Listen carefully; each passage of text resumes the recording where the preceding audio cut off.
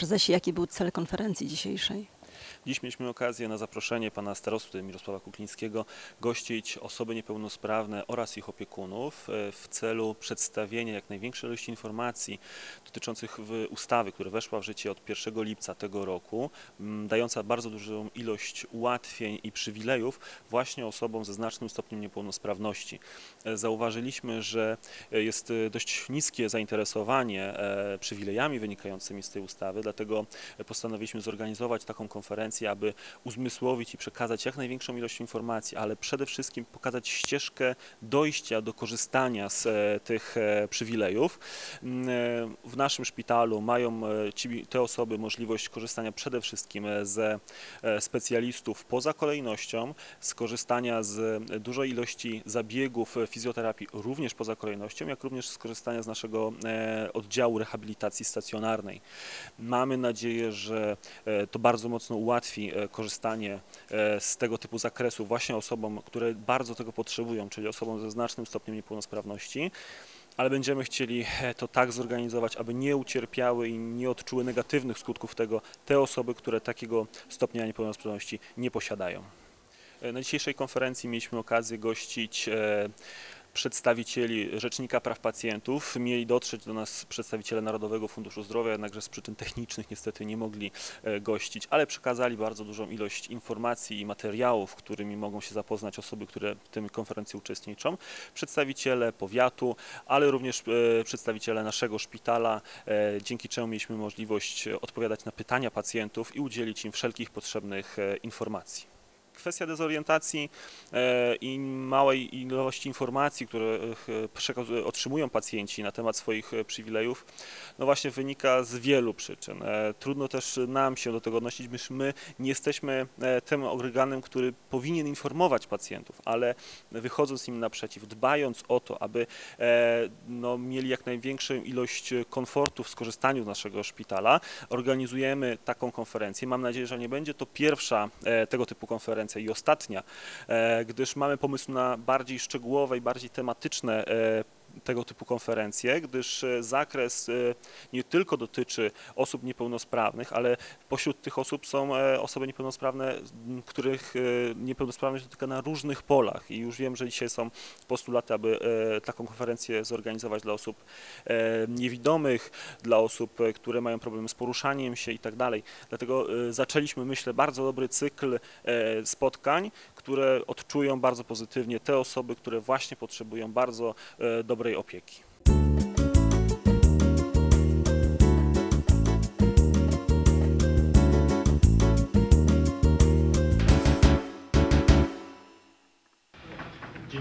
Państwu, witam Państwa bardzo serdecznie. Bardzo się cieszę, że tak Państwo licznie przybyli na naszą e, konferencję. Dziękuję e, za liczne przybycie przede wszystkim mediów, gdyż e, zdajemy sobie sprawę, że nie wszystkie osoby niepełnosprawne miały możliwość fizycznie uczestniczyć dzisiaj w tej konferencji, a to jest przede wszystkim konferencja dla nich, aby przekazać informacje dotyczące ustawy, która e, weszła w życie 1 lipca, która daje bardzo dużą ilość e, uprawnień e, i przywilejów, jeśli tak można powiedzieć, z których mogą te osoby skorzystać właśnie w Tomaszowskim Centrum Zdrowia. Chcielibyśmy przekazać te informacje, gdyż zauważyliśmy, że od początku, od 1 lipca, od początku, gdy ta ustawa funkcjonuje, nie ma takiego zainteresowania jak na przykład w innych miastach, chociażby w Łodzi. Tam widzimy bardzo duże e, poruszenie z, e, wynikające z tego, z tego powodu. E, U nas nie i prawdopodobnie wynika to właśnie z braku przekazania informacji, z braku informacji, które nie dotarły wprost do osób przede wszystkim zainteresowanych. Dlatego z, z tego powodu ta konferencja i tym bardziej cieszę się, że będzie można ją przekazać dalej za pośrednictwem mediów, bo tak jak mówię, jest to konferencja skierowana dla osób ze znacznym stopniem niepełnosprawności. Cieszę się, że e, gościmy tutaj e, osoby e, przede wszystkim z, z ramienia Rzecznika Praw Pacjentów.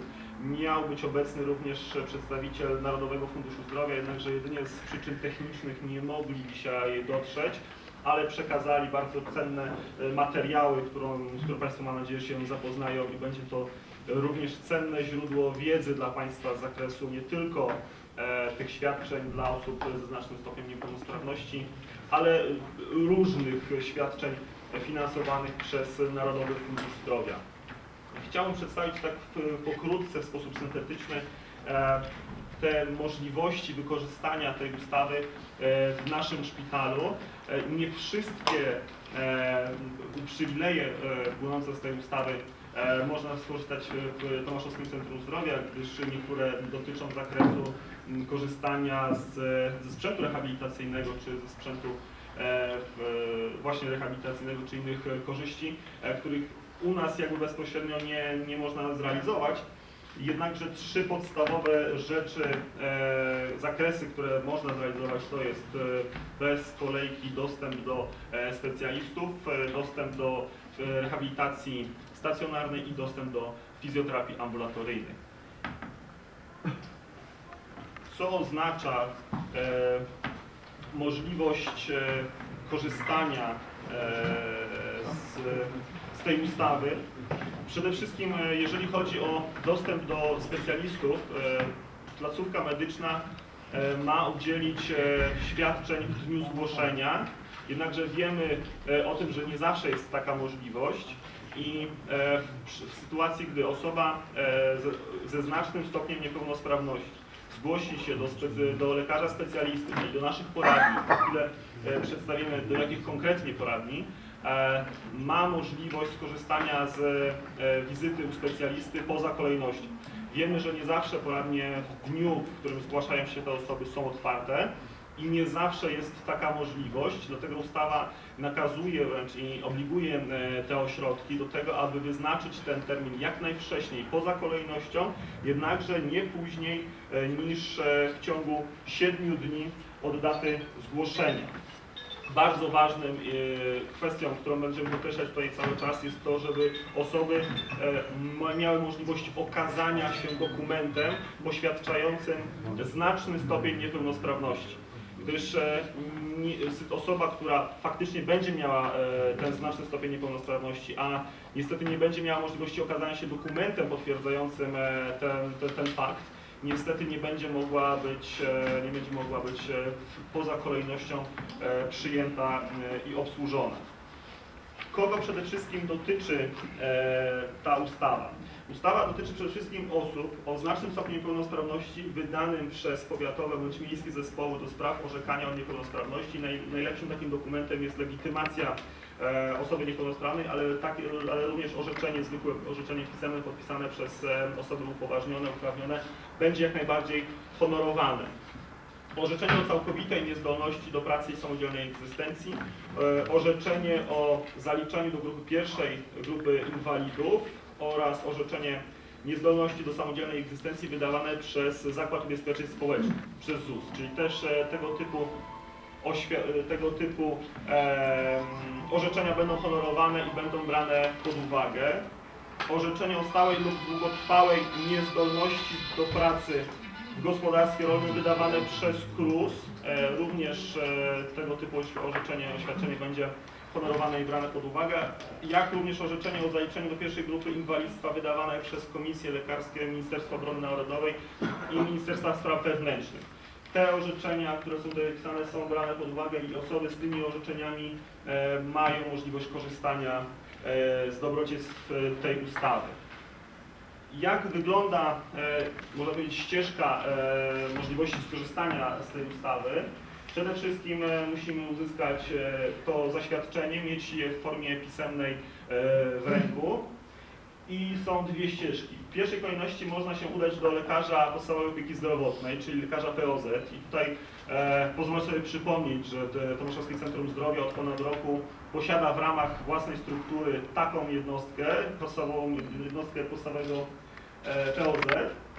E, I ten lekarz może wystawić skierowanie do poradni e, fizjoterapii ambulatoryjnej e, na e, szereg badań, szereg, szereg świadczeń rehabilitacyjnych, ale również takie skierowanie może wystawić lekarz specjalista, e, gdyż tak jak powiedziałem, e, osoby w znacznym stopniu niepełnosprawności mają teraz możliwość bez skierowania udać się chociażby do poradni ortopedycznej i po zweryfikowaniu, zbadaniu lekarz specjalista ma możliwość wystawienia skierowania e, zarówno na rehabilitację stacjonarną, czyli do oddziału, ale również do poradni e, ambulatoryjnej do poradni e, fizjoterapii ambulatoryjnej. E, Ta osoba z tym skierowaniem zgłasza się do ośrodka rehabilitacji, który ma podpisany kontrakt z Narodowym Funduszem Zdrowia. W naszym szpitalu jest to, tak jak powiedziałem, oddział i poradnia znajdująca się w budynku przy ulicy Niskiej. I tam taka osoba z, ze skierowaniem zgłasza się na, na te zabiegi. Mm, Osoby, które tam pracują, ustalają w- ośrodku cały harmonogram, wyznaczają dni e, i wyznaczają w jakich godzinach ma być e, wykonywane dane świadczenia. Pacjent przechodzi w tym ośrodku kolejne zabiegi zgodnie z planem, a na końcu znów jest poddawany e, ocenie i są weryfikowane efekty i rezultaty te- tych zabiegów i w razie konieczności kierowany jest znów na kolejną serię zabiegów e, bądź, bądź e, rehabilitacji. Tak jak powiedzieliśmy, przede wszystkim w naszym szpitalu to są te trzy zakresy. E, Ambulatoryjna opieka specjalistyczna, czyli dostęp do specjalistów poza kolejnością bez skierowania, fizjoterapia ambulatoryjna i rehabilitacja ustrojowa, ogólnoustrojowa w ramach naszego oddziału. W ramach opieki specjalistycznej e, nasz szpital e, przyjmuje e, w ramach poradni przede wszystkim neurologicznej, diabetologicznej, chirurgii urazowo-ortopedycznej i innych. To są przede wszystkim najczęściej odwiedzane przez osoby ze znacznym stopniem niepełnosprawności. Jednakże wszystkie poradnie, które istnieją w ramach Tomaszowskiego Centrum Zdrowia są, e, są e, przyjmowane w tych poradniach już poza kolejnością. Oczywiście, tak jak podkreślam, w, w miarę możliwości. To nie zawsze będzie ten sam dzień, w którym pacjent się zgłosi, jednakże ustawa mówi o tym, żeby to nie było później niż w ciągu 7 dni wyznaczony termin e, do, do specjalisty. Wiemy w województwie łódzkim i w samej Łodzi, jak sytuacja się mocno rozwinęła i wiele szpitali było wręcz zaskoczonych dużym zainteresowaniem i sami Państwo wiecie, że ilość e, specjalistów, którzy są w stanie przyjmować jest e, bardzo ograniczona i już wiem, że niestety w wielu przypadkach zaczynają się kolejki e, do tego świadczenia poza kolejnością, więc mam nadzieję, że u nas taka sytuacja nie nastąpi. Jednakże przestrzegam i uczulam, żeby no, być wyrozumiałym w tej sytuacji. Oczywiście będziemy robić wszystko, co w naszej mocy, aby te świadczenia były gwarantowane jak najwcześniej, te porady. E, Jednakże sami Państwo wiecie, że ilość specjalistów jest ograniczona, e, kolejki są mm, dość długie, na szczęście w naszym szpitalu nie aż tak długie. E, Przede wszystkim jest duży problem właśnie chyba z z poradnią, którą najbardziej odwiedzają osoby ze znacznym stopniem niepełnospra- niepełnosprawności. To jest poradnia ortopedyczna, gdzie ortopedzi mimo to, że przejmują praktycznie 5 dni w tygodniu, kolejka jest, kolejka jest bardzo, bardzo duża. I właśnie w, w przypadku specjalistów e, poradni mogą oni wystawiać e, właśnie skierowania zarówno do poradni fizjoterapii ambulatoryjnej, jak i e, do e, rehabilitacji w ramach e, oddziału. Jeśli chodzi o naszą e, fizjoterapię ambulatoryjną, e, później po, po moim wystąpieniu poproszę e, panią doktor Balkiewicz, aby przedstawiła więcej z zakresu tych świadczeń, które można uzyskać właśnie w naszej poradni fizjoterapii. Szczególnie będziemy o tym mówić, gdyż z uwagi na obecnie niski kontrakt tej poradni, niestety pełne naszej możliwości wykorzystania tej poradni nie są realizowane gdyż musimy w miarę się mieścić e, w, w kontrakcie. Teraz dzięki tej ustawie e, teoretycznie przynajmniej, ale mam nadzieję, że w praktyce, wszystkie świadczenia wykonane dla tych osób e, ze znacznym stopniem niepełnosprawności będą w 100% zapłacone, więc e, mamy dzięki temu możliwość w pełni wykorzystania e, tej poradni. E, Trwają obecnie procedury przetargowe, aby dokupić jeszcze sprzętu. Mam nadzieję, że moce przerobowe osób tam pracujących będą wystarczające. Jeśli nie, jesteśmy w stanie również poszerzyć kadrę Dlatego tym bardziej zachęcamy do tego do korzystania z tego typu rehabilitacji. E, I rehabilitacja jest e, wykonywana w cyklu terapeutycznym do 10 dni zabiegowych. E, Jednemu świadczeniobiorcy przysługuje nie więcej niż 5 zabiegów dziennie. Tutaj Państwo macie ogólnie wymienione zakresy, z jakich można korzystać. Tak jak powiedziałem, później przedstawimy je bardziej, bardziej szczegółowo. Ale również poza zabiegami, e, poza świadczeniami możemy, możecie Państwo uzyskać e, w, profesjonalną, w ramach profesjonalnej wizyty konsultację specjalistyczną w dziedzinie fizjoterapii. Tak do żeby e, jeszcze bardziej efektywniej wykorzystać zakres świadczeń, które można tam uzyskać. Jeśli chodzi o rehabilitację ogólnoustrojową, czyli w tak zwanym w oddziale, jest ona wykonywana w czasie pobytu przez 6 dni w tygodniu, od poniedziałku do soboty. E, Średnio 5 rodzajów zabiegów dziennie, zleconych przez lekarza specjalistę rehabilitacji. Pacjent jest pod stałą opieką również pielęgniarską, e, całodobową e, w naszym oddziale. Również staramy się dos- dosprzętowić, dokupić większą ilość sprzętu, tak aby jeszcze bardziej poszerzyć portofel o wszystkich zabiegów i świadczeń, które możemy tam udzielać. S- sytuacji oddziału jest to troszeczkę bardziej utrudnione, gdyż ogranicza nas już nie tylko kontrakt, ale również ilość łóżek, które, e, którymi dysponujemy. I w tym przypadku mogą zdawać się sytuacje trochę trudniejsze, że, e, że nie zawsze będziemy w stanie w bardzo krótkim czasie przyjmować na oddział osoby ze znacznym stopniem niepełnosprawności, gdyż musimy też pamiętać o tym, że pozostałe zakresy przez oddział muszą być obsługiwane. Mam tutaj na myśli rehabi- rehabilitację osób, e, które przeszły zabieg wymiany e, endoprotezy, wstawienia endoprotezy stawu, stawu biodrowego. Te osoby również są w ramach tego e, oddziału rehabilitowane i wiemy, że również są bardzo duże naciski ze strony Narodowego Funduszu Zdrowia, aby robić tych zabiegów jak najwięcej, a wiemy, że większości przypadków po takim zabiegu konieczna jest rehabilitacja. Dlatego, e, tak jak powiedziałem, oddział jest to odrobinę od, ograniczony z uwagi po prostu na ograniczoną ilość łóżek. E, wiem, że będzie tam niedługo robiony remont e, elewacji, także mam nadzieję, że nie wpłynie to negatywnie na pobyt pacjentów w tym oddziale. I też tutaj w tym przypadku oczekuję na wyrozumiałość, gdyż obecnie, z tego co wiem, kolejka oczekujących na oddział, na przyjęcie na oddział rehabilitacji już jest ponad roczna. I obawiam się, że przy dużym zainteresowaniu osób ze znacznym stopniem niepełnosprawności ta kolejka pewnie się wydłuży. Ale e, również mam nadzieję, że będzie to przeprowadzone w taki sposób, aby pacjenci jak najmniej e, negatywnie e, mieli możliwość tego to odczuć.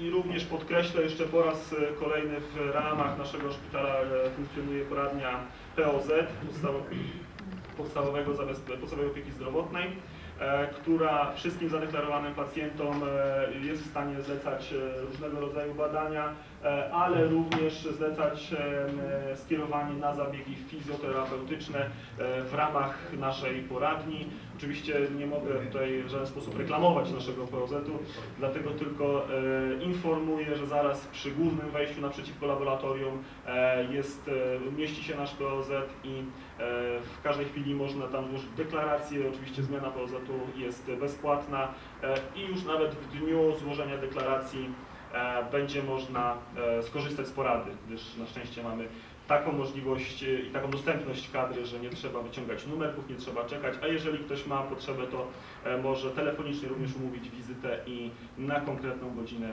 e, przyjść i się zgłosić. To tyle e, w ramach takiej syntetycznej przedstawienia e, informacji o, e, o tej ustawie. Mam nadzieję, że później, gdy już wszyscy zabiorą głos, e, jeżeli Państwo będziecie mieli jakieś pytania szczegółowe bardziej e, do, tego, do tej ustawy i do tych świadczeń, będziemy starali się e, odpowiedzieć. A teraz bardzo proszę e, Pani doktor, e, jeżeli można parę słów szczegółowych właśnie z tego zakresu, e, którym dysponujemy na dzień dzisiejszy. Tak jak podkreślałem, staramy się dokupić jeszcze większą ilość sprzętu, aby poszerzyć e, możliwość wykonywania tych zabiegów e, e, i to będzie już dostępne niebawem. W, Pani minister Hania Bartkiewicz jest e, kierownikiem poradni, więc jak najbardziej.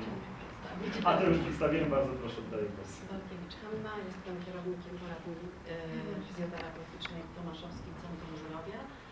I my już przyjmujemy pacjentów z orzeczonym e, stopniem niepełnosprawności w stopniu znacznym. W tej chwili korzystających z zabiegów fizjoterapeutycznych, rehabilitacyjnych jest ich Głośniej, pani doktor. tak? Proszę tak trzymać. Bliżej Jest ich, e, tych pacjentów w tej chwili korzystających z rehabilitacji e, w naszej poradni jest em, 14 osób. E, Nie wiem, czy dużo, czy mało. Na razie są to początki i każdego dnia pacjenci... Proszę? Mówisz, że to kwestia niedoinformowania. Kwestia pewnie nie Ale do się pojawi. informowania jeszcze, ale każdego dnia zgłaszają się kolejni pacjenci. Teraz przed wyjściem dwie osoby z orzeczeniem o niepełnosprawności w stopniu znacznym przyszły i zapisały się na, na termin. E, mm, Na mocy tej ustawy z 1 lipca przyjmujemy pacjentów e, z orzeczeniem o niepełnosprawności w stopniu znacznym. E, Co to oznacza dla pacjentów? Pacjent, który się do nas zgłasza, e, powinien mieć skierowanie od lekarza podstawowej opieki zdrowotnej, od lekarza ubezpieczenia zdrowotnego, e, orzeczenie o niepełnosprawności w stopniu znacznym i legitymację ubezpieczenia, e, legitymację osoby niepełnosprawnej. My to dokumentację, wszystko robimy kopię, zostawiamy w naszym, w naszym e, u nas poradni i pacjent w terminie nie dłuższym niż e, 7 dni, chyba że rzeczywiście no, na prośbę pacjenta ten czas może być e, wydłużony, życzy sobie inny termin, jest przyjmowany do naszej poradni. E, Zabiegi są wykonywane e, w trybie e, 10, 10 zabieg, w cyklach 10-dniowych, nie mniej do 5 zabiegów dziennie. Pacjenci, którzy do nas zapisują się również w trybie mm, bezkolejkowym, to są pacjenci z e, kombatanci wojenni, y, to są e, osoby e, honorowi krwiodawcy. E, Pomimo, że dysponujemy 30 e, stanowiskami e, zabiegowymi na dzień dzisiejszy, to jednak czasami te kolejki na e, zabieg w danym dniu zabiegowym się tworzą i, i no, trzeba chwilkę poczekać. I tutaj e, moja prośba i, i, i no, konieczność doposażenia e, poradni, doposażenia do usprzętowienia. Wiem, że już takie tak. e, czynności zostały wszczęte, takie postępowania zostały wszczęte, tylko no, e, myślę, musimy poczekać. musimy poczekać.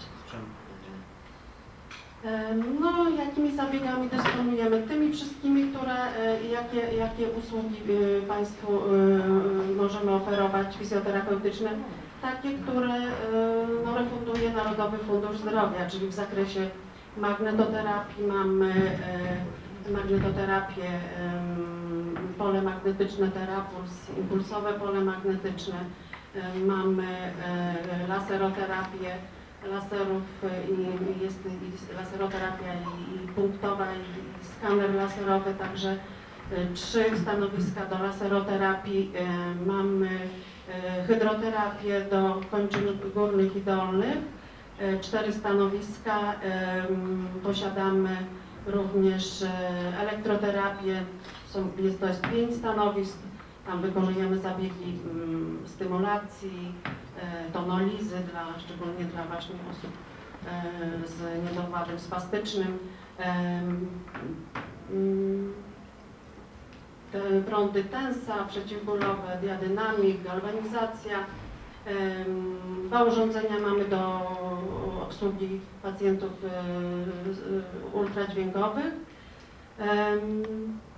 I e, jeszcze e, hydroterapia oczywiście, dwa stanowiska. Także jest, tak na dzień dzisiejszy jest tego sporo, niemniej jednak przy takim obłożeniu naszej poradni i tym kontrakcie, tak jak Pan Prezes mówił, no, no, mógłby być większy, niezadowalającym jeszcze na dzisiaj, ponieważ kolejka e, pacjentów oczekujących jest w tej chwili nasz, trudno mi wypowiedzieć ten czas oczekiwania, ale to jest około roku.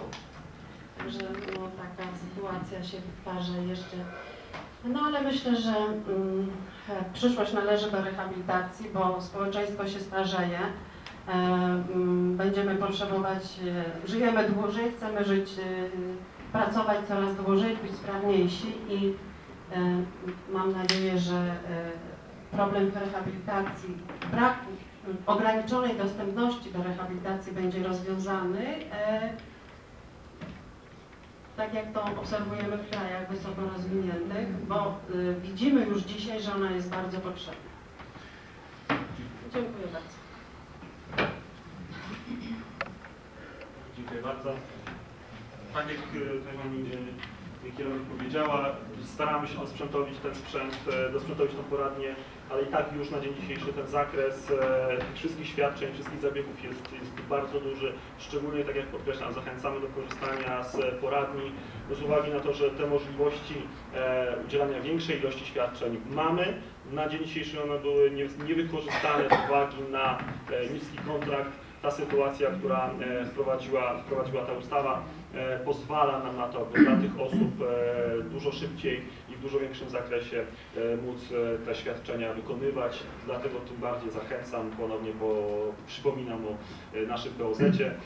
I na, ten, dziś, na tę chwilę z mojej strony bardzo dziękuję. Po, po, po wszystkich wystąpieniach, jeżeli będą jakieś pytania, to, to z przyjemnością, z przyjemnością odpowiem. Ja bym poprosił teraz pana Marka Kwiatkowskiego o zabranie głosu.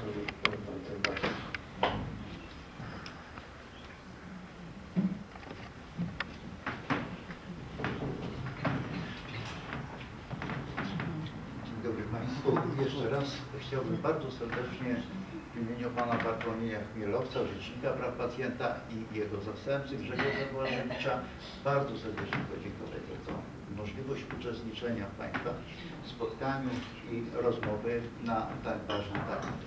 Przede wszystkim chciałbym w stronę zarządu powiatu uczynić ukłon, wielki ukłon za zainteresowanie tą problematyką, w jaki sposób to wdrażać, w jaki sposób urzeczywistniać to wszystko, co jest tak ważne dla środowiska osób niepełnosprawnych. prostopadły do ust. O tak, Tak, wtedy on będzie lepiej, jest, jestem już słyszany. Otóż, y, mili Państwo, sam jestem osobą niepełnosprawną i mam swój stosunek. Jestem wielkim orędownikiem właśnie tej metody y, ustalenia dostępu do świadczeń dla osób y, ze znacznym stopniem niepełnosprawności, a niżeli no, tej pierwotnie proponowanej, a więc jakiejś wyrażonej kwotą dla tych środowisk, w których są takie osoby.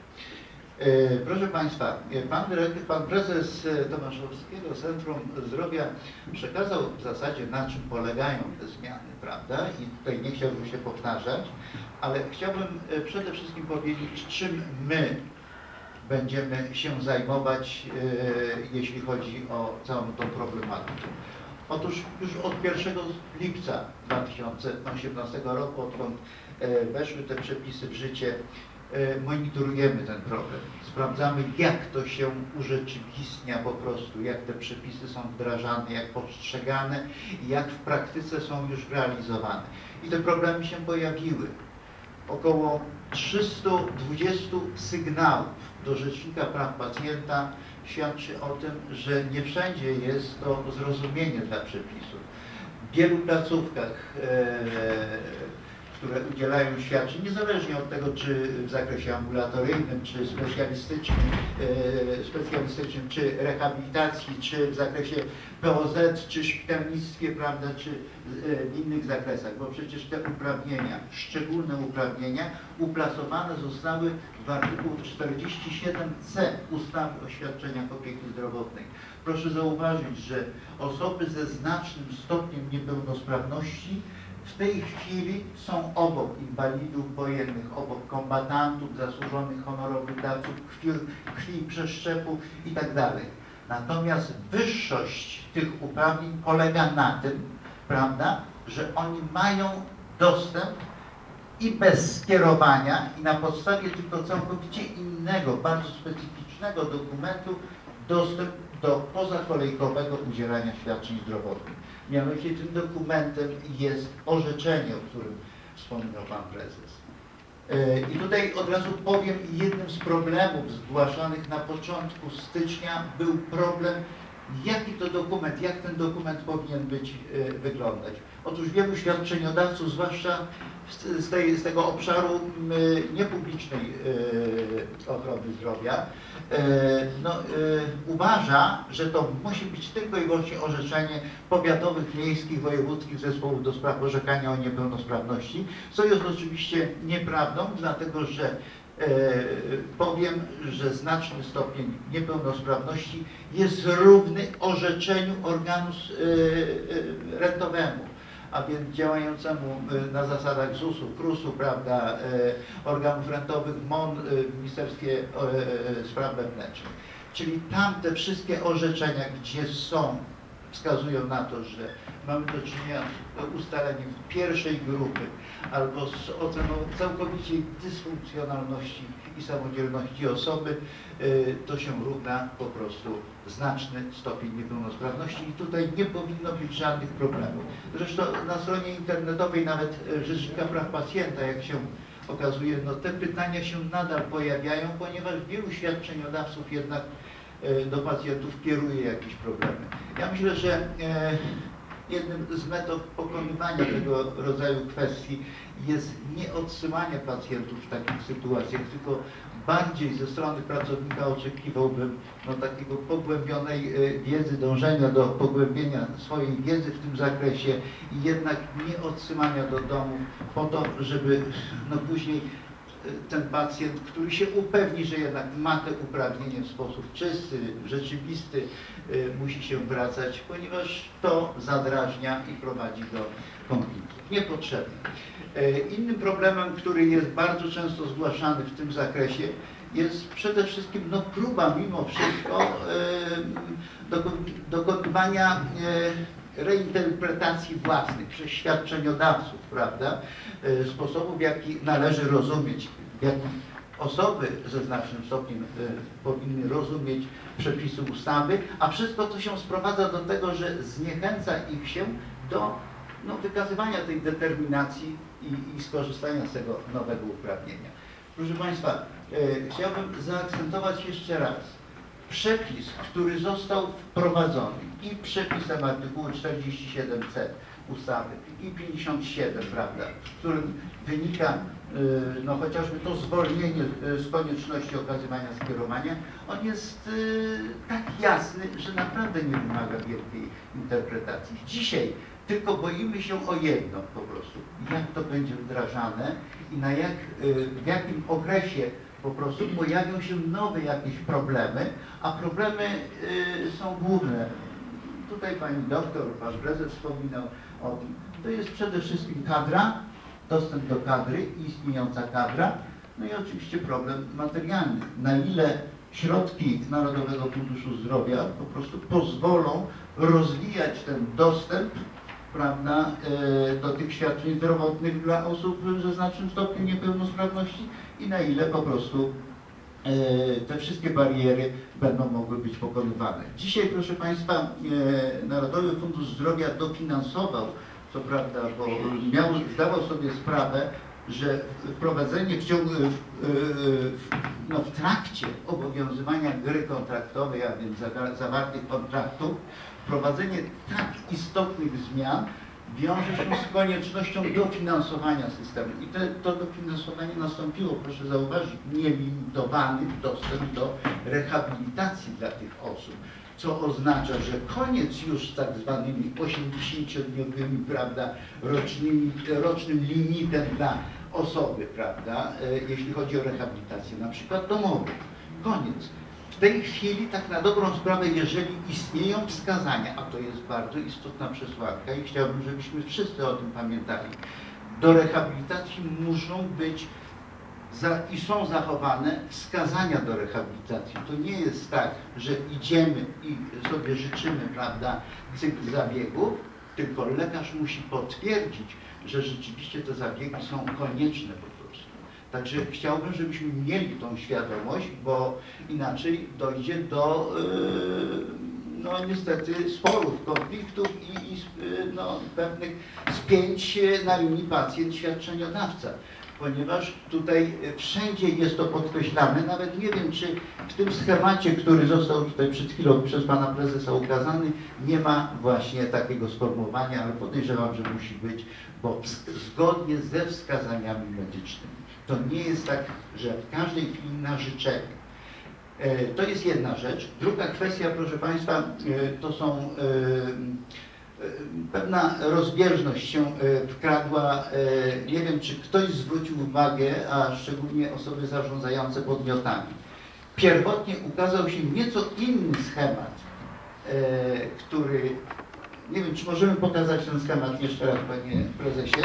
Ten schemat, który został opublikowany na stronach Narodowego Funduszu Zdrowia i Ministerstwa Zdrowia. O, właśnie ten. Pierwotnie ukazał się nieco inny schemat, mianowicie e, różnica polega na tym, że tutaj już poprawiono właśnie o tą możliwość uzyskania skierowania. To był błąd po prostu merytoryczny. Pierwotnie nie było tego skierowania. Pierwotnie można było się iść prawda, do zakładu rehabilitacji i od razu ustalić sobie cykl zabiegu. Teraz jest to potwierdzone, że to jednak lekarz powinien decydować o tym, jakie zabiegi po prostu pacjentowi powinny być zaordynowane. I dopiero dalej następuje e, dalszy cykl tej kwalifikacji, zapewnienia, realizacji świadczenia zdrowotnego.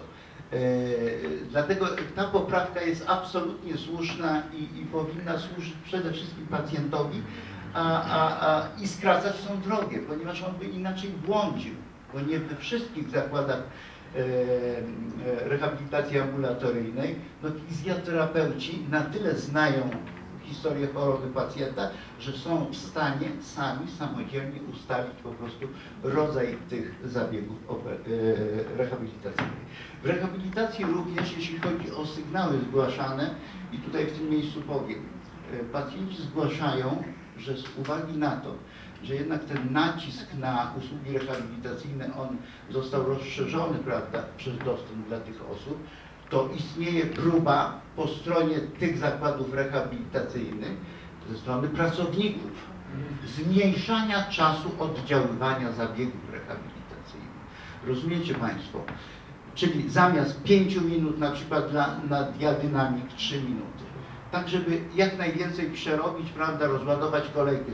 Tymczasem, no, przyznacie Państwo, że byłby to naruszenie poważnych standardów, dlatego że Narodowy Fundusz Zdrowia określił minimalny czas trwania każdego zabiegu fizjoterapeutycznego i dlatego tutaj chciałbym przestrzec, że no, pacjent jest taką naturą, że on e, zaraz doniesie, doniesie, tylko że problem polega na tym, że nie doniesie do kierownika, tylko od razu cały świat obdzwania, Narodowy Fundusz Zdrowia, prezydenta, premiera, prawda, i wszystkich innych o tym, co się dzieje w jakiejś placówce.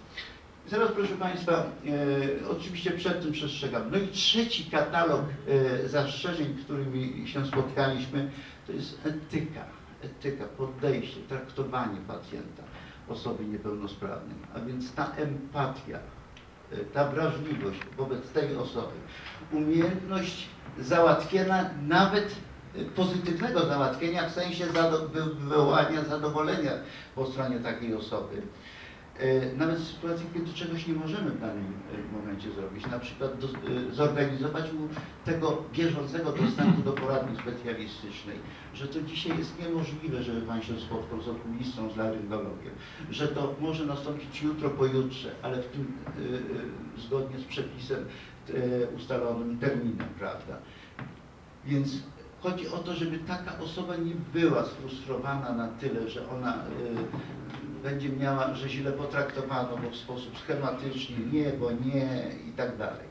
Albo istnieje też bardzo często ze strony rejestratorek, bardzo często, nie wiem, to jest zjawisko, które ja nazywam wywoływaniem konfliktu, prawda, niepotrzebnego całkowicie konfliktu. Każdy z Państwa, jak tu siedzicie, spotkało się, czy to w podstawowej opiece zdrowotnej, czy y, nie wiem, do poradni specjalistycznej w rejestracji. Niestety dzisiaj Panią nie może lekarz przyjąć. Rejestratorka mówi grzecznie, uprzejmie. Ale wie Pani co, jak Pani podejdzie do lekarza, wejdzie do niego do gabinetu i spyta się go, czy jeszcze Panią przyjmę, to ja bardzo chętnie Panią zarejestruję. Proszę Państwa, niby dobra ta rejestratorka, ale podła jednocześnie, bo wysyła w sposób świadomy na dwie wojny tego pacjenta. Z pacjentami przed gabinetem i z lekarzem, z- którym będzie chciała uzgodnić to, o co jej chodzi. Otóż tak nie powinien robić. Powtórzę jeszcze to, co zawsze i w szkole medycznej, jak wykładałem, mówimy. To jest obowiązek rejestratorki uzgodnić z lekarzem, czy przyjmie pacjenta pozalimitowego danym dniu. Y, Po przeskazaniu, że, że niech oczekuje, nie ma sprawy, y, podejmę jeszcze. Ale decyzję lekarz podejmuje w uzgodnieniu z rejestratorką, a nie właśnie w takiej sytuacji. Tych sygnałów jest tak dużo, proszę Państwa. A to jest naprawdę, jak pomyślimy, to jest naprawdę skazane na niepowodzenie takie właśnie pouczenie. Niby chciała dobra, dobrze ta rejestratorka zrobić, bo jakąś tam radę przekazała, no, y, która otwiera pewne szanse na uzyskanie tego świadczenia, ale niestety y, bardzo często ona jest nieskuteczna i dlatego przestrzegam tutaj, pouczcie Państwo w swoich podmiotach te rejestratorki, żeby ta empatia i ta współpraca, żeby nie manewrować tego pacjenta po prostu y, w tej i we w te, bo przyjmijmy, że ona, ta osoba jest osobą niepełnosprawną, niezależnie od tego w jakim stopniu. Y, Proszę Państwa, drugi temat y, związany z dostępem w tych warunkach szczególnych prawda, uprawnień to jest dostęp do świadczenia w danym dniu. Bo to, że one są, te osoby nie, nie mogą być wprowadzone na listę oczekujących, to to jest oczywiste. Czyli poza kolejką oczekujących jest to poza, to jest jeden byt. Ale drugim bytem jest sam fakt, że oczekuje pod drzwiami gabinetu i czy ma taka osoba prawo dostępu do świadczenia poza tymi pacjentami innymi, którzy tam oczekują. Otóż proszę Państwa, to zależy już od Was. Przepis artykułu 47c milczy na ten temat. On mówi o kolejce oczekujących, o liście oczekujących. Natomiast to, czy ta osoba będzie miała prawo wstępu jako przed innymi pacjentami w danym dniu, oczekując, to zależy od regulaminu porządkowego. Dlatego tutaj zachęcam, bo wiele regulaminów, które widziałem, one są kompatybilne z tymi uprawnieniami i zwykle wymieniają, że poza kolejnością e, korzystają ze świadczeń taki, takie osoby. Jeżeli jest to wprowadzone w regulamin porządkowy, nie ulega wątpliwości, jest to tytuł do tego, żeby to uprawnienie również i w tym e, obszarze było pacjentowi zapewnione. Dobrze, proszę Państwa, y, y, to tyle jeśli chodzi y, o, o, o same uprawnienia, a teraz powiedzmy jak się pacjent powinien zachować w sytuacji, kiedy coś nie zadziała, coś iskrzy, jest problem jakiś. Otóż, mili Państwo, wszędzie to mówię, ale zwracajcie uwagę pacjentom, żeby nie palili swoich spraw. A spalenie swojej sprawy polega na tym, że jak iskra pojawia się w rejestracji, to wie o tym, że pacjent miał problem w rejestracji w jakiejś tam przychodni, kancelaria prezydenta, premiera, Narodowy Fundusz Zdrowia od centrali, prawda, poprzez y, oddział delegatury i tak dalej, Rzecznik Praw Pacjenta, a nie wie jedna osoba. Osoba, która za to jest odpowiedzialna. Odpowiedzialna jest za bezpieczeństwo pacjenta i prawidłowy dostęp, organizację dostępu do świadczenia i odpowiedzialna jest za tego pracownika w tej rejestracji. Jest to kierownik podmiotu. Czyli proszę zauważyć, pierwsza czynność, jaką każdy powinien uczynić, jest przejść, poprosić o rozmowę z kierownikiem. Jestem przekonany, że po wysłuchaniu kierownik będzie wiedział, jak profesjonalnie sprawę ocenić i ją rozstrzygnąć. Prawda? A kwestie pisania, dzwonienia, prawda, e, skarg różnego rodzaju, one są skazane na niepowodzenie z prostej przyczyny. Z prostej przyczyny. Raz, że żadnej instytucji zewnętrznej poza podmiotem nie wolno się wtrącać w organizację wewnętrzną podmiotu. Czyli inaczej mówiąc, nikt do, z Biura Rzecznika Praw Pacjenta na ten przykład nie zadzwoni, nie będzie rozmawiał z tą rejestratorką, przypominając jej o takich czy innych zachowaniach, czyli zwracając jej uwagę. Dlaczego? Dlatego, że na następny dzień taki pracownik Biura Rzecznika Praw Pacjenta byłby zwolniony z pracy. Dlaczego? Dlatego, że kierownik tego podmiotu właśnie rzecznikowi powie, że pracownik się wtrąca w jego kompetencje. O, prosta rzecz. Nam wolno jest rozmawiać z kierownikiem podmiotu, który nie, nie, nie interesuje się zgłoszonym przez pacjenta problemem. To jest logiczne. To tak jak wiecie Państwo, kupujemy chleb w sklepie, to nie idziemy na skargę do szewca obok, tylko idziemy do tego sklepu i prosimy o rozmowę z kierownikiem. To tutaj jest identyczna zasada. Kierownik jest tym, który wie najlepiej, jak ocenić pracę swojego zespołu, pracownika i jakie są potrzeby pacjenta, oczekiwania i jest w stanie to wszystko uporządkować profesjonalnie. Natomiast wiecie Państwo, gdyby te skargi były w tym trybie, jak ja mówię, to byśmy zmniejszyli o 50% wszystkich skarg w Polsce.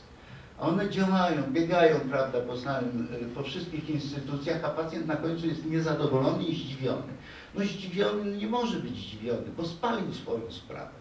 Bo gdyby zamknął ten trójkąt, prawda, te, y, tego postępowania skargowego od razu u podstawy, czyli uzyskał stanowisko kierownika podmiotu w tym zakresie, które mogłoby naruszenie, o naruszeniu prawa stanowić, to miałby argumenty, żeby wygrać gdzieś, na przykład u nas skargowym. A tak to my piszemy, a pan dyrektor ze stoickim sposobem odpowiada nam, swoje, y, wyraża swoje stanowisko w zakresie skargi. Nikt do mnie nie zgłaszał żadnych zastrzeżeń w tej sprawie. Nie wiem, o czym mowa w skardze. Proszę wybaczyć, nie potrafię się wypowiedzieć na ten temat. To jest logiczne, panie prezesie, prawda? I tak właśnie jest. Dlatego pouczcie pacjentów, jak powinni budować swoje sprawy, jak je rozstrzygać. A powiadam jeszcze jedna rzecz. W Polsce powinno się używać języka polskiego. Język polski jest tak bogaty, że można to samo wyrazić na wiele różnych sposobów. Ale on nie działa bardzo często. Ten język polski nie działa. Przecież konflikt powstaje na skutek albo niezrozumienia, albo nie, chęci nierozumienia albo chęci niezałatwienia coś, nie mam uprzedzenia, mam zły dzień, prawda, różne są przyczyny. To proszę Państwa, ja zawsze mówię, jeżeli coś nie działa w języku polskim, to ja przenoszę język polski na papier i kieruję pod właściwy adres, czyli do kierownika podmiotu. I wtedy mam jasno, czarno na białym. Tu już mi się nikt nie wymiga. Po prostu, że pacjent złożył skargę i zmusił tego kierownika do udzielenia sobie odpowiedzi w tej sprawie. To jest właśnie logika postępowania. A to, co dyrektor napisze, kierownik podmiotu, to proszę Państwa też nie zniknie, prawda? Bo ja jestem w stanie to zderzyć z obowiązującymi przepisami i zobaczyć, czy nie następuje naruszenie prawa. Tak właśnie prowadzi się postępowanie skargowe i dowodowe. Nie można nikogo zła, y, nazwać złodziejem, nie potrafiąc dowieść tego. A dzisiaj większość skarg, które my czytamy w Biurze Rzecznika Praw Pacjenta, to są opowieści o tym, co ktoś gdzieś komuś o czymś opowiedział. No proszę Państwa, patrzcie, ale tak nie można potwierdzić, że ktoś naruszył prawo. Bo jak wszystkie te osoby powołane w skardze, przyznacie Państwo, że za chwilę powiedzą, że to jest nieprawda, co tam jest napisane. I będzie słowo przeciwko słowu. I dlatego, proszę Państwa, pierwsza zasada. Kierownik podmiotu, jeżeli kierownik się tym nie interesuje, mamy do czynienia z dwoma zasadniczymi instytucjami, które nadzorują ten obszar, o którym tutaj dzisiaj mówimy. Oddział Narodowego Funduszu Zdrowia, czy delegatura tej e, NFZ-u i Rzecznik Praw Pacjenta. Można to zrobić nawet telefonicznie. Na przykład do Rzecznika Praw Pacjenta, bo Narodowy Fundusz Zdrowia owszem telefonicznie przyjmuje, ale jest to sygnał, z którego nic nie wynika. My troszeczkę inaczej podchodzimy, zwłaszcza do tych osób, osób niepełnosprawnych. Niezależnie od tego, czy są ze znacznym stopniem, czy umiarkowanym, czy, czy lekkim. My po prostu takie osoby chronimy. Jeżeli uważamy, że z rozmowy telefonicznej wynika wysoce uprawdopodobnienie naruszenia jakiejś tam procedury, przepisu, normy, reguły, zasady, to my mamy taką instytucję, która nazywa się interwencja wyjaśniająca. I czasami jest taka sytuacja, że dzwonimy do kierowników podmiotów, prawda, przekazując sygnał, od czego dotyczy sygnał, bo nam nie wolno jest wydawać poleceń, jak się ma e, podmiot zachować. Na to pacjent nie może liczyć. My możemy przekazać, co za pacjent, jaki pacjent spotkał się z jakimiś problemami gdzieś tam w jego komórce organizacyjnej, w poradni ortopedycznej, w poradni reumatologicznej, w OZ, w szpitalu na oddziale czy w zakładzie rehabilitacji. Prawda? I tylko to możemy zrobić i prosimy o zainteresowanie się tą sprawą. Na tym polega ta interwencja. Natomiast gdyby interwencja polegała na tym, że my będziemy wszystkich Państwa, e, którzy mają problem z zarejestrowaniem się do lekarza, rejestrować, to proszę Państwa, y, Biuro Rzecznika Praw Pacjenta codziennie musiałoby wymienić w takich sytuacjach kadrę, ponieważ etyka by była naruszana. Nie ma. W Polsce za, y, z walczymy, a nie je rozbijamy. A tego rodzaju oczekiwanie jest niestety oczekiwaniem załatwienia sprawy. Czyli niech Biuro Rzecznika Praw Pacjenta zadzwoni, mnie zarejestruje, bo mnie odmówiono. Niech Biuro Rzecznika Praw Pacjenta e, zadzwoni i wyda polecenie, żeby przyspieszono zabieg operacyjny, bo, na który czekam półtora roku, prawda? I tak dalej. Nie. Naszą rolą jest nauczyć generalnie pacjentów tego, jak się poruszać w tym systemie. I to czynimy najlepiej, jak tylko potrafimy.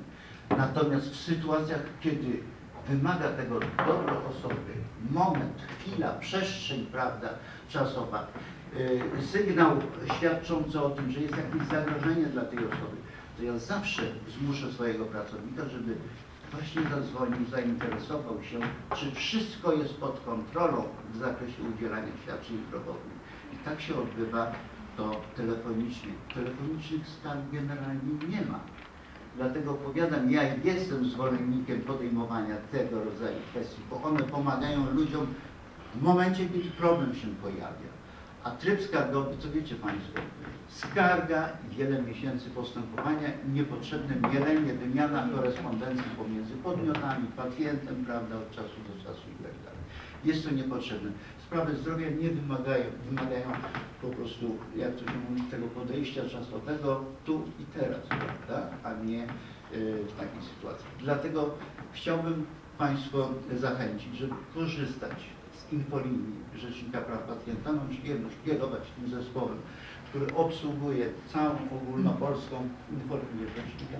Sam zresztą wykonuje wiele tysięcy rozmów y, i dla mnie rozmowa z pacjentem jest przyjemnością, chociaż nie zawsze, bo pacjenci często wylewają na nas swoją, swoje niezadowolenie, które ich spotkało, prawda, gdzieś tam w szpitalu, gdzieś tam w przychodni i tak dalej.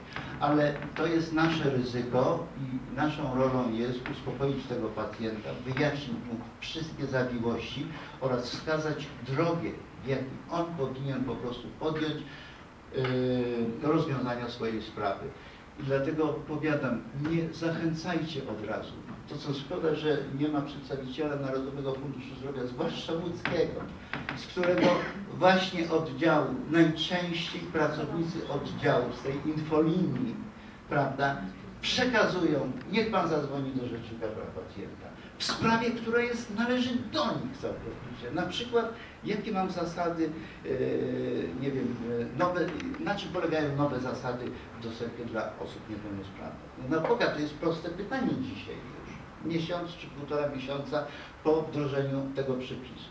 I pracownik, ja wiem, że oni korzystają z tej e, jakiejś zewnętrznej firmy, prawda, i nie są to merytoryczni, ale to nie usprawiedliwia, e, bo to jest polityka po prostu NFZ-u i oni powinni dbać, żeby jednak ta informacja była właściwa. A przede wszystkim, żeby informacja, która wypływa z NFZ-u i z Biura Rzecznika Praw Pacjenta, ona była właściwa. Różnica w postępowaniu, Ju- już kończę e, tego, przy, mam świadomość, że przydługi, ale za chwilę dam pan, Państwu możliwość zadawania pytań. Różnica e, pomiędzy e, obszarem zainteresowania NFZ-u a rzecznika polega, jest diametralnie odmienna. Otóż Narodowy Fundusz Zdrowia kontroluje i bada prawidłowość zachowania się podmiotu leczniczego w kontekście ustalonych warunków świadczenia. Tak. Czyli formalizm tutaj. Jeżeli przepis jest, nie został zachowany, naruszony, prawda? ale nie naruszono prawa pacjenta, tylko naruszono warunki kontraktu. A my z kolei patrzymy to z punktu widzenia pacjenta, czyli to samo co Narodowy Fundusz Zdrowia, tylko że nie nazywamy to naruszenie warunków kontraktów, naruszenie praw pacjenta. I na tym właśnie polega postępowanie pomiędzy tymi dwoma e, instytucjami.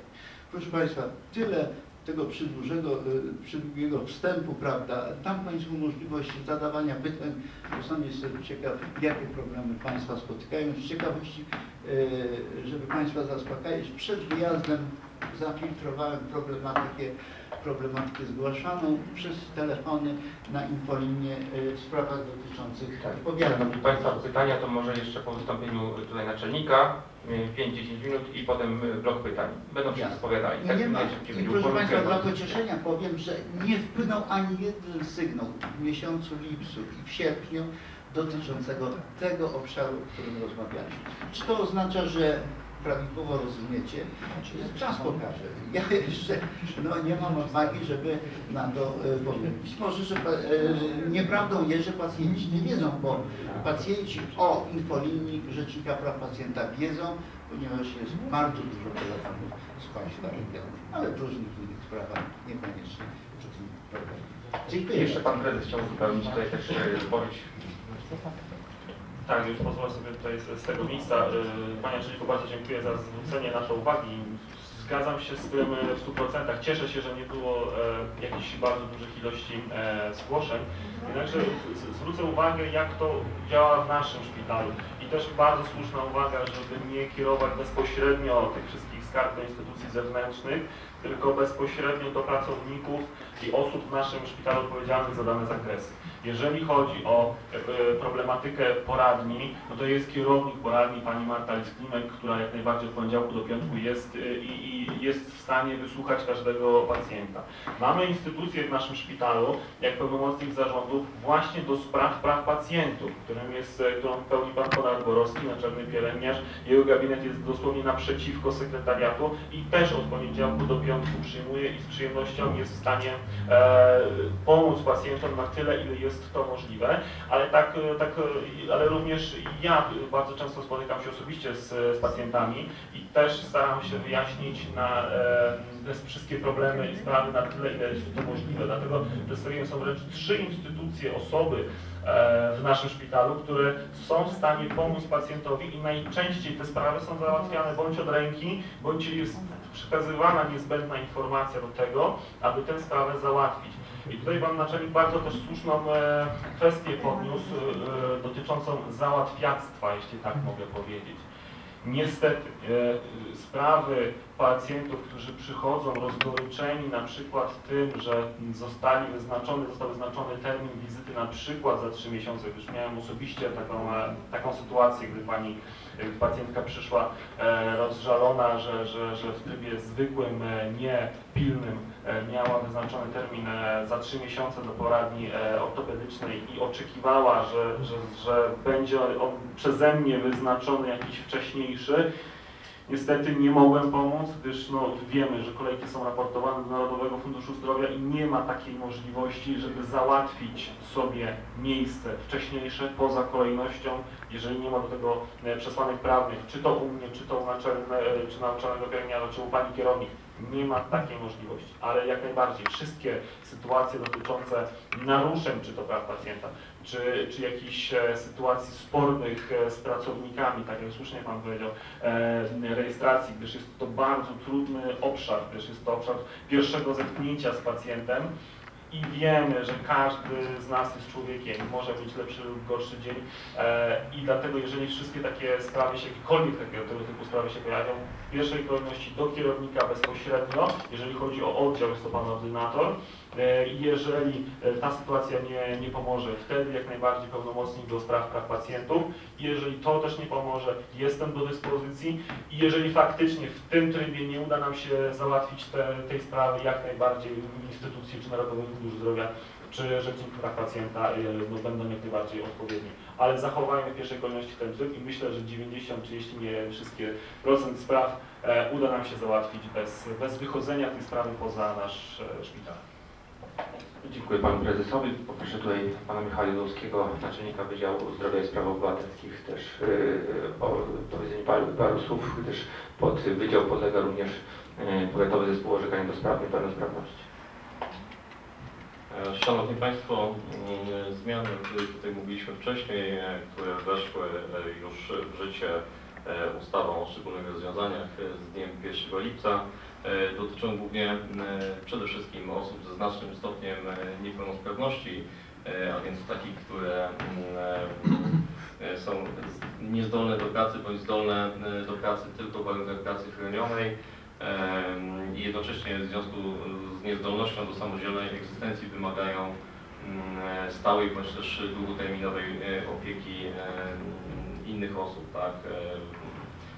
Aby skorzystać z tych dodatkowych uprawnień, czy to w poradniach, czy, czy, czy z rehabilitacji tutaj tej nielimitowanej, e, należy okazać się e, orzeczeniem o e, stopniu niepełnosprawności w stopniu znacznym, bądź też legitymacją, która ten stopień potwierdza i te uprawnienia potwierdza. Mm, W tym celu należy złożyć wniosek o wydanie, o wydanie takiego stosownego orzeczenia wraz z aktualnym e, zaświadczeniem o stanie zdrowia e, wydanym przez e, bądź to lekarza prowadzącego, lekarza POZ-u e, czy lekarza specjalistę. E, To zaświadczenie jest e, ważne 30 dni od daty wystawienia, więc tutaj na to trzeba zwrócić szczególną uwagę. E, Do tego wniosku należy dołączyć również e, dokumentację mm, medyczną, kserokopię dokumentacji medycznej, czyli mm, wszelkie karty e, z leczenia szpitalnego, dokumentację medyczną e, z, mm, e, tutaj z poradni ambulatoryjnej, e, wszelkie dodatkowe mm, wyniki badań, konsultacje medyczne, e, wszystko co może wpłynąć na, na, na wydanie tego mm, orzeczenia i wskazań w tym orzeczeniu, tak? E, W powiecie e, tomaszowskim e, w strukturach e, tutaj starostwa powiatowego funkcjonuje powiatowy zespół orzekania nie- niepełnosprawności, e, który oprócz e, orzekania o stopniu niepełnosprawności powyżej 16 roku życia e, orzeka również o mm, niepełnosprawności e, u osób do 16 roku życia. E, Wydaje legitymacje potwierdzające właśnie uprawnienia e, dla osób e, niepełnosprawnych. E, Wydaje również karty parkingowe e, u osób, które mm, te wskazania mają do, do wydania karty, czyli co najmniej umiarkowany stopień e, z, z, tutaj z mm, określonymi e, wskazaniami, czyli ruchowymi, neurologicznymi, wzrokowymi, e, stopniu znacznym przy wszystkich symbolach niepełnosprawności. Mm, Wszelkich informacji w zakresie tutaj orzekania udzielają pracownicy Wydziału Zdrowia i Spraw Obywatelskich w okienku przy pokoju numer 9 na parterze e, urzędu. Stamtąd też można pobrać e, wszelkie formularze wniosków, e, zasięgnąć informacji i złożyć sam wniosek e, i, i po prostu oczekiwać na, na, na wyznaczenie komisji e, orzeczniczej. W ubiegłym roku dodam tylko taką ciekawostkę, bo, bo, bo to, mm, tutaj dotyczy to osób niepełnosprawnych w stopniu znacznym. E, Wydaliśmy około 5, tyś- blisko 5 tysięcy orzeczeń e, łącznie na terenie powiatu, z czego ponad 20%, czyli ponad 1000 e, tych orzeczeń dotyczyło właśnie stwierdzenia z niepełnosprawności w stopniu znacznym, więc widzimy, że ta skala i, i pomoc dla tych osób będzie, będzie tutaj zasadnicza, tak? Mm, Dodatkowo wnioski i wszelką dokumentację, o- oprócz tego, że można ją pobrać tutaj e, na dole, na parterze urzędu, można również pobrać sobie ze strony internetowej, e, czy to z biuletyny informacji publicznej, jak również ze strony e, starostwa, e, to jest www.powiat-tomaszowski.pl. E, Tam w zakładce Powiat Zdrowie są wszystkie dokumenty, e, które należy, e, które można wypełnić e, i złożyć e, tutaj u nas na kancelarii. To z mojej strony wszystko. Chyba dziękuję serdecznie, w razie czego zapraszam do zadawania pytań. Dziękuję Panu Naczelnikowi i proszę jeszcze o zabranie głosu Panią Manię Dymkiewicz, prezesa e, Stowarzyszenia Stanienia Mieszczanego w Tomaszu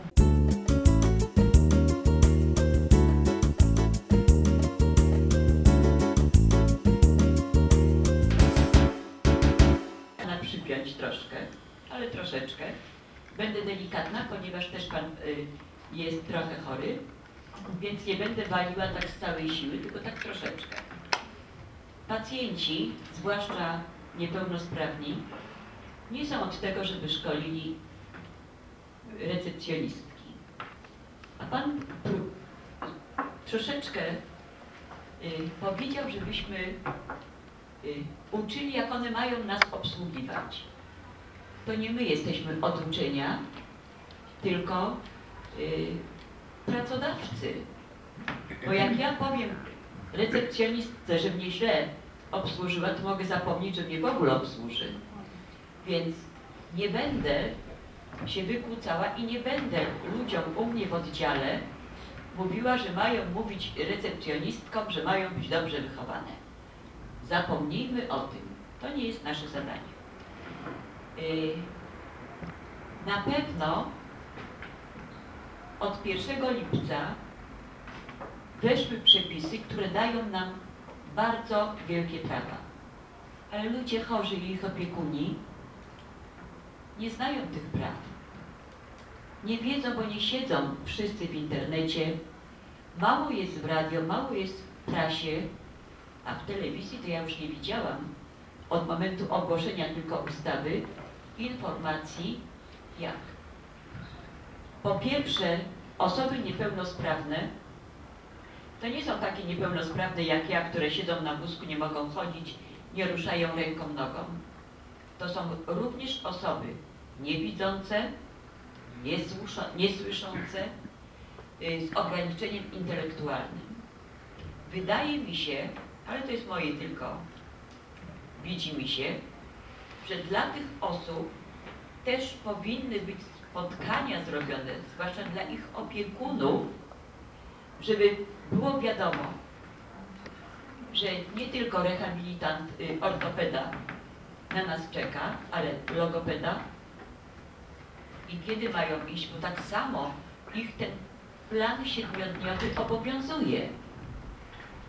Kiedy ma mieć odpowiednie spotkanie i rehabilitację osoba niewidząca, Jakie? tak? A to ja będę chciała zabrać głos. bo przecież one też potrzebują pomocy. Akurat przy stwardnieniu rozsianym tak się nieszczęśliwie składa, że my mamy wszystko. Niechodzących, niewidzących, niemówiących, zależy jak się rozwinie choroba i jak nas dopadnie. Nie każdy ma tyle szczęścia, co ja, że pomimo choroby może wydostać się z domu. Osoby niepełnosprawne są pozamykane w domach. Proszę mi powiedzieć, panie prezesie, panie naczelniku, co w Tomaszowie z rehabilitacją domową? To jest tak mikroskopijnej ilości, że praktycznie mogę powiedzieć, że tego nie ma. Ja już się śmieję, że to jest rehabilitacja homeopatyczna. Jeżeli dzisiaj ja znam osoby od siebie z oddziału. Nie ma rodzin osób, które są zamknięte w domu. Skąd te osoby? Ja wiem, ja do nich powysyłałam SMS-y, nie przyszły. Ale jak mamy im pomóc, jak zrehabilitować, jak pomóc ich nauczyć samowystarczalności, nawet po to, żeby sobie majtki wciągnęli, jeżeli nikt ich nie uczy, bo nie ma rehabilitanta do domu. Nie uwierzę w to, i to od razu mówię, bo jestem człowiekiem małej wiary, nie uwierzę w to, że w ciągu siedmiu dni dostaniemy rehabilitację i rehabilitanta, ponieważ nie ma kontraktów na rehabilitantów. Rehabilitantów może by się znalazło, ale jak oni nie mają kontraktu, to powiedzą, proszę bardzo, bardzo chętnie zrobię, ale niestety nie jestem zatrudniony. Nie mogę. Jak mamy wpłynąć, żeby było więcej kontraktu, żeby było więcej rehabilitantów, którzy zajmą się nami? Naprawdę to nie jest żaden komfort mieć znaczne orzeczenie o niepełnosprawności. Naprawdę żaden komfort. Bo ja to mam Mój mąż też to ma. I staramy się żyć z niepełnosprawnością tak, żeby nie być obciążeniem dla całego otoczenia. Proszę nam pomóc, nie tylko w rehabilitacji wychodzącej na zewnątrz, ale z rehabilitantami, którzy przyjdą do nas i pomogą nam usiąść na łóżku, którzy przygotują nas do opieki paliatywnej, bo od 1 lipca również bardzo ciężko chorym ze znacznym stopniem niepełnosprawności przysługuje opieka paliatywna, oprócz rehabilitacji. Więc, panie prezesie, strasznie panu dokuczyłam, bo y, to spada na pana. Jak ja mówię, że my pacjenci możemy nie pyskować, ale możemy domagać się tylko uwzględnienia naszych praw. To proszę pomóc nas zrozumieć i niech osoby pracujące i mające w swoim zakresie obsługę niepełnosprawnych podpowiadały i uczyły niepełnosprawne osoby, jak mamy dalej się zachowywać i co mamy robić, żeby nie być obciążeniem dla rodziny, sąsiadów, społeczeństwa. Szanowni Państwo, tylko Pan Naczelnik odniesie się krótko do, tutaj do Pani Ani i już z pytaniami. Ponieważ przywołała mnie pani prezes, e, to muszę powiedzieć, że zaszło pewne nieporozumienie. Otóż jeżeli mówię, że kogoś trzeba szkolić, to każdy, kto wie, jaka jest pragmatyka w relacji pracownik-pracodawca, to wie, że to jest obowiązek pracodawcy. Dlatego na początku, jak przyszedłem, ja Państwa nie znam, zadałem pytanie, kto na sali jest. Byłem przekonany, że są przedstawiciele podmiotów i do nich się zwracały i jeżeli są takie osoby, to na pewno do siebie to przyjęli, a nie pacjenci mają to robić. I druga rzecz, Pani Prezes, jeżeli mówimy, że ja jestem trochę chory, wie Pani, to bym powiedział e, w stosunku do kobiety, że kobieta jest trochę w ciąży. Albo ktoś jest chory całkowicie, albo też nie jest chory, jest zdrowy.